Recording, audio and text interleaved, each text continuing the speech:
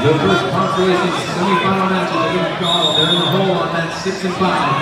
The first consolation semifinal matches are now in the hole on that six and five. This next round will be consolation semifinals on all six mats.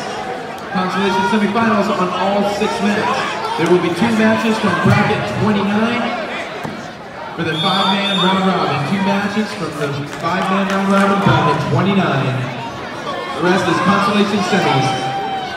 So if you've earned a trip to the finals, take a trip to the contestant stand and fuel up with some sausage or some meatballs, some mac and cheese, hot and cold beverages. Support Pelham and thank them for running the 2019 Tri-County Wrestling Championships by supporting Pelham Wrestling at the concession stand.